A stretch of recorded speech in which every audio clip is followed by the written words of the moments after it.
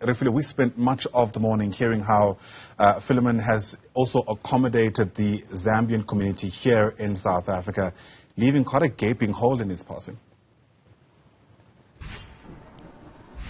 Well, definitely, Ayanda, and we are also picking up from some of the speakers here to say that as much as Philemon had been living in South Africa for a very long time now, his connection with the people of Zambia had not, he had not been separated from his love for, for his country together with people of Zambia.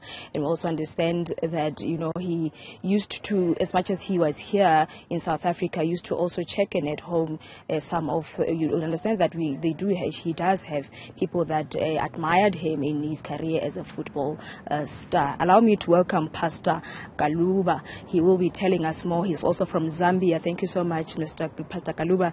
Uh, welcome to Newzroom Afrika. Maybe let's start with when you received the news about the passing of Philemon uh, Mulala and the manner in which he passed on. Uh, I got the news in the afternoons of Saturday, the 7th. And uh, when the news came to me, first of all, I was shocked, like anybody can be shocked. Uh, I even asked if he was sick or something. Then I was told no, he was attacked. It was quite shocking to me uh, because last year we met and talked a lot, and I thought even this year we have an opportunity to meet and talk again. Mm-hmm. It was a shocking death. And and your your relationship with him, you you were telling me that you've known him for you know for more than 22 years. Uh, take us through some of the memories that you created with him, and also his history about uh, uh being a soccer star. Uh, Mr. Philemon Mulala used to play for Mufulira Wanderers. I do remember as a young boy, I was about 11 years, and uh, his name was becoming prominent in football by then, and he was part of the KK11. That time the Chipolopolo was called KK11 national team.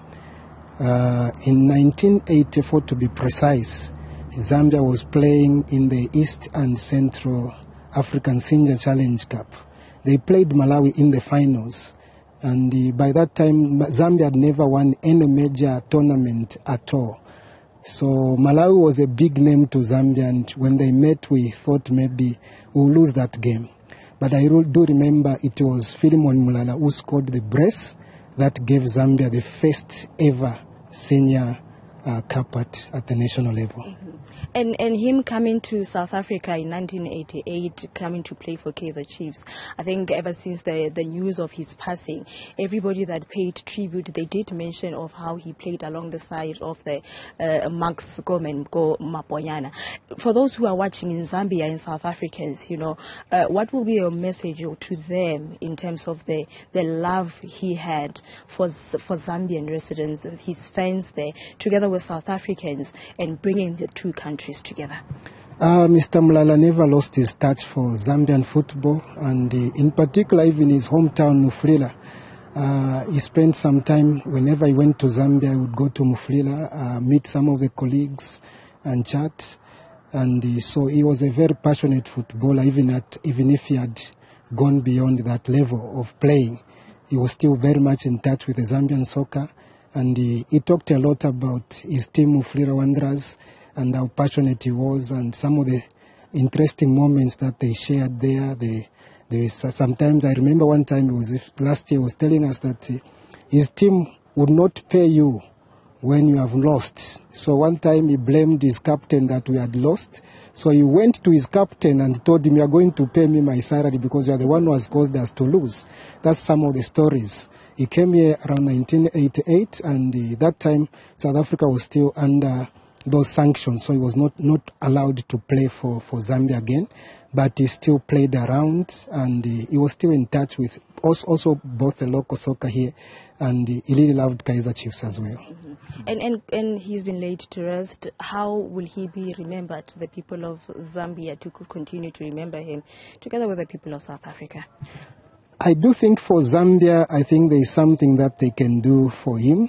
It might be minor, but uh, something must be done just to remember him, especially that he's the man who scored. I know they played as a team, but he's the man who scored the two goals that gave us a cup. So we need to put him somewhere in the memories. I appeal to the Football Association of Zambia to do something about that. Uh, recently, the president of FIFA said we should name uh, each country should name a, a, stadium after Pele. I think before we name uh, a stadium after Pele, let's think of Philemon Mulala first. Is our own, is our own soil. And I think also with South Africa, they have got their own memories, especially for the teams that he played for. They can do something to just put a memory for him. Pastor Kaluba, thank you so much for your time. Uh, it's indeed when we you did not know about Philemon Mulala, now you know a lot about him. I think the lot of tributes that we have been seeing from a lot of people, uh, remembering the type of a person he was, those that, those that worked with him, childhood memories amongst others, emotional moment that just happened when the coffin was going down there from the children together with their wife.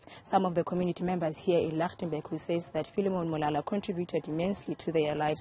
He was a granddad to some. He was a brother to some. He was a father to some. He was a friend to some. And they will continue to remember him for his humility uh, as the kind of a person that he was.